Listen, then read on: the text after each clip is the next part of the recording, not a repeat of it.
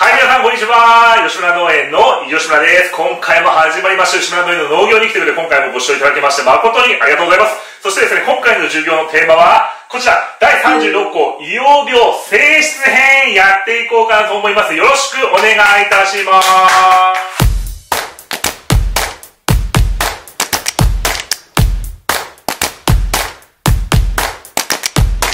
はい、ではですね、硫黄病性質編ということで今回ね、やっていこうかなと思うんですが、まあなんでね、今回ね、この硫黄病のお話ししようかなと思ったかと言いますと、まあだいぶ前ではないんですけど、ここ最近ですね、この硫黄病、吉村農園の方でも、ちょっとスクストレイにね、ワントレイの方に出てしまいましたよという動画、ちょっとアップしたかと思うんですね。で、その中で、まあ再生回数の方も、まあだいぶ回ったのと、あともう一つはですね、コメントの中でね、この硫黄病の対策ってどんなことしてますかとか、硫黄病にかかる前に、どういった感じで防除すればいいんですかってコメントをいただいて、これ改めて、この硫黄病の話はね、しといた方がいいかなと思いまして、今回はね、この性質編お話ししようと思います。で、今回、この性質編とセットで、次回の動画では、防除編のお話もしようと思います。今回はね、ほんと基本的なことなんですけど、どんな病気も、どんな感じでなるのかって性質を理解しないと、防除のお話しても、なかなかね、こう、内容わかんないかなと思いますので、今回は基本的なところの硫黄病ってこんな病気ですよってお話ししてから、次回の動画で防除のお話、していこうかなと思いますんで、よろしくお願いいたします。ではね、早速なんですが、内容の方に移っていこうかなと思うんですが、まあ、硫黄病って何なのってところで、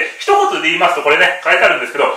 本病の、まあ、病原菌っていうのは、まあ、この糸状菌の一種であり、イチゴの根から感染する。このね、イチゴの根から感染するっていうのが、もう非常にこの今回の病気のこの硫黄病のポイントになります。ちょっとここを聞きたいんですけど、はい、どうでしょうか？えー、っとね、根からなんで、えー、炭素と違ってね、ブワーっては広がらないんですけど、はい。欠点はね、えー、長くハウスの方さ養病が出てると本邦でもね、えー、年をまたいちゃってね数年にわたって、えー、同じ場所で出る可能性があったりトラクターのロータリーなんかで土耕栽培の場合は高温したりするとトラクターに菌が万が一ついたとすると隣に移ったりしてこう何て言うんですかね土壌感染しちゃうっていうこのやばいやり方だな。だからあ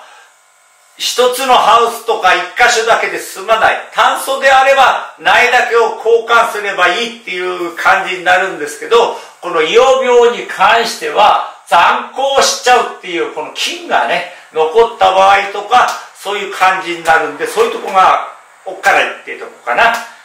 ありがとうございます。まあ、ほぼほぼですね、今回のこの性質のね、あの、肝の部分全部社長が今話しちゃったんですけど、まあ、改めてですね、ではね、どんな症状が出たらこの硫黄病なのかってところを、こう、判別もできないとね、なかなか難しいと思いますんで、ちょっと症状のお話もさせていただくまずですね、こちら2番のね、症状のところなんですけど、まず A の歯の症状としては、まあ、生育がまず止まってですね、他の歯よりも、ま、小さくなり、ねじれて、まあ、船、船型に危険化する。まあ、これね、言葉で言うとなかなか難しいなって感じなので、画像も出しときますんで、まあ、こんな感じが、まあ、あの、硫黄病だろうっていう、この歯のね、現象になります。あともう一つね、こちらね、銅管ってところで、こちらがね、ちょっとポイントなんですけど、根やクラウンの、まあ、傭兵などの銅管部分が黒褐色変になるということで、これ、この黒褐色変っていうのもなかなかね、どんな色だってところ、こちらはね、一応画像をちょっと出しておきますんで、まあ、このあたりのこの A と B のこの症状に関してもちょっとお聞きしたいのはどうでしょうか？うーん一番わかるのはねこの B に関してはねちょっと私もねこれはちょっとうん難しいやってみて、こう、切ってみてしわかんない。てみないとわかんないし、えー疫病だ何かとの場合があるからこの場合は B はね結構ちょっとね素人は難しいしな。これはすぐわかんないよこれ。一番この A の歯の部分がですね、これで判断これが大体ででこれはね一本だけじゃないからあーランナーの場合はこうつながってるからそのランナー部分のおーまあ太郎さん二郎さん三郎さんっていくとそこの列が全部そうなってるからこれはね結構ちゃんと見てるとわかるそうですね。うん、で色も黄色っぽいようなちょっとね、えーいじけてるよ。いじけてるっていうまあ、この葉葉っぱがですね、こう3枚展開をしていた場合、こう均等に葉3枚の葉っぱが大きくなってないっていうのが、この硫黄病の場合は特にこう分かりやすい症状かなと思います、ね。ランナーの方が他のランナーより小さい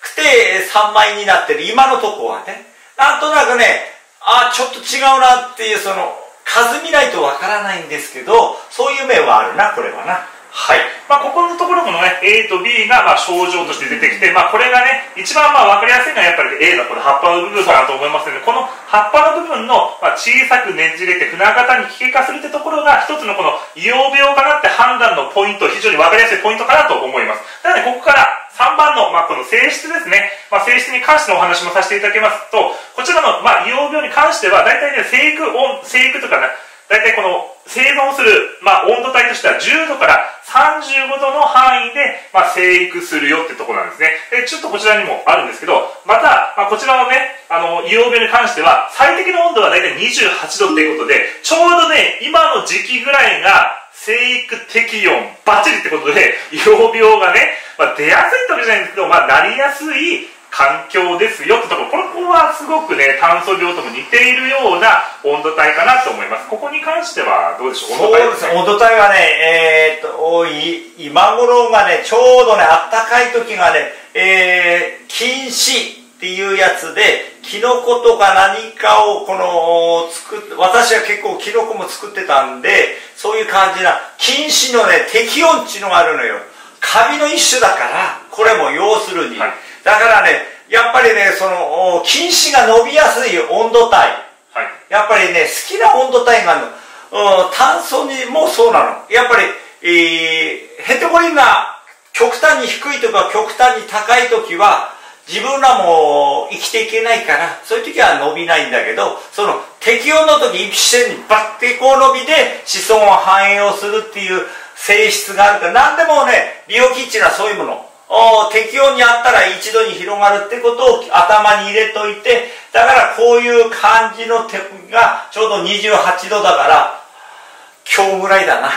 そう今日の夜ぐらい。ちょっとあったかいかなっていう感じの。でもですねこの、まあ、生育適温が28度といっても、ね、10度から35度なんで本当にこの夏場の時期っていうのがやっぱりこう出やすい時期まあ、生育してる時期ではありますよってことですね。じゃあね、こっからが今回のこの硫黄病に関してのこのメインのね、お話になるんですけど、この鉱石胞子を形成して生存するってこのね、ここが本当のこの硫黄病の一番怖い部分の社長が先ほどね、ちょっとここのとこの病気のこの何なんだっていうところのお話で話した部分ですね。ところのお話になるのでこの鉱石オキシっていう胞子状この何でしょうねこの塊っていうのかな？禁止。禁止って言ったらいいのかな？そういったものが、まあ、硫黄病の中にあってこの鉱石胞子ってこの胞子が暑さだったり寒さだったりこの湿度とかそういったのにも、まあ、変化にも対応可能で、まあ、土壌中内、土壌内で数年間生存できるよ。まあ、ここがね、本当のポイントなんですよね。結局はこの土壌中の中で、まあ、越冬する、まあ、寒くても越冬することもできるってところで、まあ、先ほど社長がお話しした通り、補助内でも万が一これが収穫補助ではなくて育病期のところで出てしまった場合それを収穫補助に抵触してしまった硫黄病ない収穫あの抵触してしまった場合っていうのはそこからどんどんどんどん数年数年にわたって広げてしまう。硫黄病の場合は徐々に徐々に広げてしまうというのが怖い部分なのかなってところでここに関してはどうでしょうか？ここは非常にポイントだと思います、うん、ここがね一番のね大切なところでえー、っと炭素なんかは寒くなればあ出てこなくなるとかっていうのがあるんですけどこの硫黄病に関しては菌糸まあ菌糸胞子も菌糸も同じようなもんなんですけど菌はあなん土壌中で、えー、死がないで生きてるとよ。そこが問題なのよ。暑くても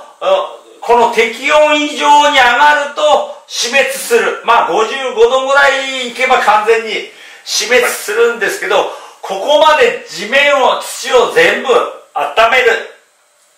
うん、太陽熱なんかでやったとしても表面の、まあ、5センチぐらいはあったかいんですけど20センチ30センチになる下はやっぱりここまで上がらないからそうするとどうしても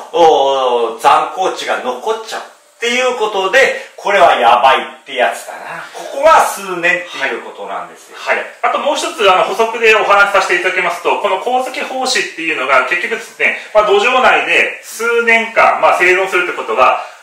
いちごの苗がですよ、例えばどんどんどんどん活着して伸びていった時に、そこに、この伸びた部分に鉱石胞子があった場合は、そこでガチッとね、食べられちゃうっていう、まあイメージですよ。食べられちゃって、そこで硫黄病になってしまうってこともあるんで、結局この土壌中に残っちゃうっていうのが非常にポイントなんですよね、今回ね。なんで、この炭素みたいにバッと広がるわけではない。何度も言うようですけど、バッと広がるわけではないんだけど、徐々に徐々に広がってしまうんで、そこが一つのね、この病気の硫黄病の怖い部分。で、一応今回ね、この4番の、まあ、どのぐらいの温度でね、死んでしまうのかってところで、社長の方でも先ほどね、ちょっと先にお話ししちゃったんですけど、大体目安としては55度から60度ぐらいで死滅するってところで、割とね、この土の温度ここまで上がるのは、なかなか大変です。ハウス内の温度でないですからね。これ土の温度ですからね。土の温度。ありえない。そう。そんなに上がることないので、非常にこれ大変な部分で、まあ、それだけ厄介な病気なんだよっていうところではあります。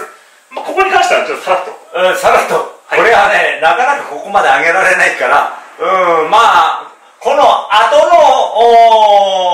お性質から今度は防除編の時に薬剤とかそういうふうなやつとかっていうようなことで、えー、なんていうんですか、死滅を100にはならないんですけど、出ちゃったとこ少なくしていって何年かにかけてなくすっていうようなやり方だと私は思うんですけど、それは今後じゃない？そうですね。次回のですね、あの、防除編のところで、あの、今回ですね、本来であればこの性質編のところであの第一次感染と第二次感染って感染の仕方なんかも書こうと思ったんですけど割とですねあの硫黄病の性質書いてるだけで黒板がいっぱいになっちゃったんでちょっと書けなかったんでまあ一応次回の動画では防除編とこの第一次感染第二次がどんな感じで感染もしていくのかってところもお話ししていこうかなと思っていますねじゃあ最後になんですが社長の方からはい新規収納なんかの人の場合は、この硫黄と炭素っていうのがイチゴの二大病気。まあ、がんと糖尿病のようなもんだな。えーそれで、えーどちらががんか糖尿かわかんないんです。これはね、えー知識として硫黄と炭素は完全に覚える。えーで、防除の仕方と、このくらいはもう完全に、この粉絵のうちと植えた苗がちょっとおかしいっていうのの見分け方ぐらいは、あー完全に、えー新規収納なんかの人は覚えておかないとダメ、これは。じゃないと、おいちご作りで定食したからおしまいじゃなくて、定食がスタートなんだから、そこのところは、あーもうこの病気と、もう名前聞いたらどうだっていうことぐらいは、あーどっちうん炭素も硫黄も金なんで、ただ金の種類が違うだけだから。はいあと、土の中で、えー残る金と空気中に飛ぶ金の2種類っていうことを覚えるって、えーいくぐらいだな、今回は。そうですねはいまあそのところでございますねすはいででですねも暑いな、今日。暑いです。あの はい。一応ですね、これ余談にはなるんですけど、一応スポットライトをね、我々浴びながらですね、今ですね、動画撮ってるんですけど、めちゃめちゃ暑いということで、ちょっと汗がね、あのもしかしたらちょっとカメラに映ってるかもしれません。ご了承くださいということで、じゃあ最後になんで私の方で最後にまとめてお話しさせていただきます。今回、硫黄病のお話、まあ、性質編というお話しさせていただきました。まあ一応ですね、こちらね、まとめさせていただきますと、もう、いちごの根から感染するね、病気だよってところで、特にこの症状のところは、歯のね、この小さくなりねじれで船型に奇形化する。ここがね、非常にこの見分けるポイントかなと思います。あとですね、まあ導管、まあ、あの、クラウ部分をハサミに切った時に、導管部分が黒褐色変になっているのも、この硫黄病のかかっている一つのポイントになります。で、一応ですね、こちら性質のところでは、温度帯10度から35度ってところが、まあ、生育する、まあ、範囲内ということで、一番ね、最適適温としては28度ぐらいになってます。で、今回のもうポイントとしては、この鉱石胞子っていうのが硫黄病で厄介で、この鉱石胞子が土壌内で数年間生存する。で、なんで生存するのかっていうと、暑さとか寒さとか、まあ、乾燥とかそういったところに、まあ、鉱石っていうこのね、漢字見てもらったら熱い壁ってところでね、非常にこうそういった、あの、防御できるってところで、非常に厄介だと。で、それがっとこう、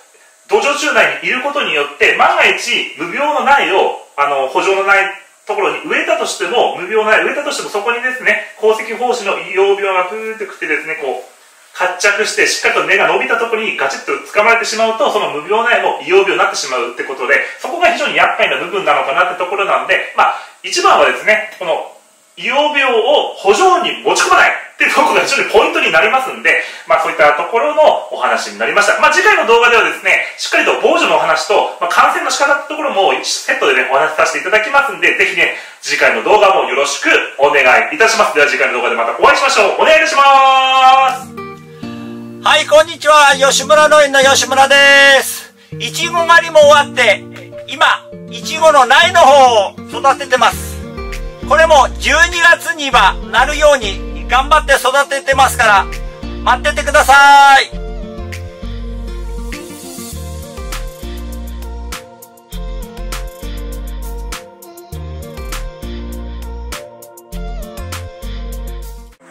はい、こんにちは。いつも一言っていうことなんですけど、今日は撮影をした後に一言っていうことで、えーとね、えー、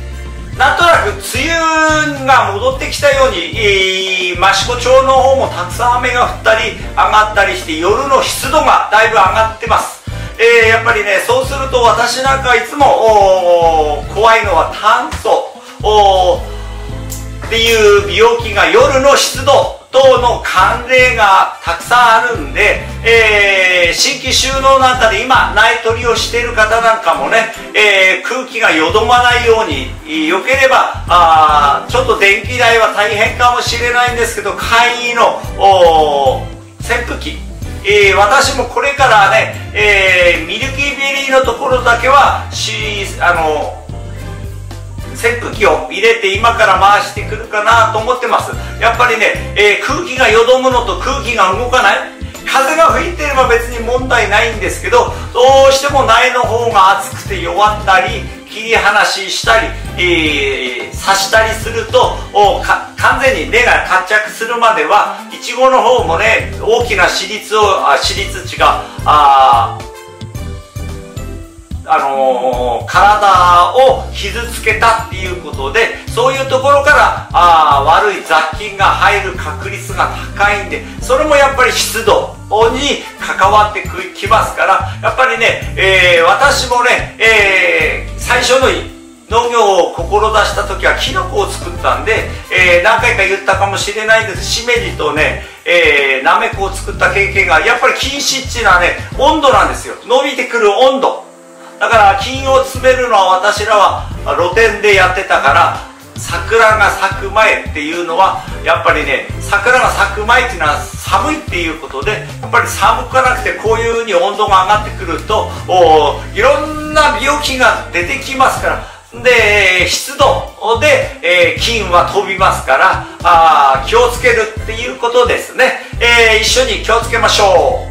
次回の動画の予告になります。次回の動画なんですが7月22日配信になりますね。一応内容としてなんですが、え、今回ねアップした動画の、えー、硫黄病の性質編からですね次はですね防除編ってところで、まあ、いろんな防除の仕方こんなことありますよってところをご紹介していこうかなと思います。一応ねこんな感じでもうまとめも終わってますんでこれをねちょっと板書してやっていこうかなと思いますんでぜひ次回の動画もよろしくお願いいたします。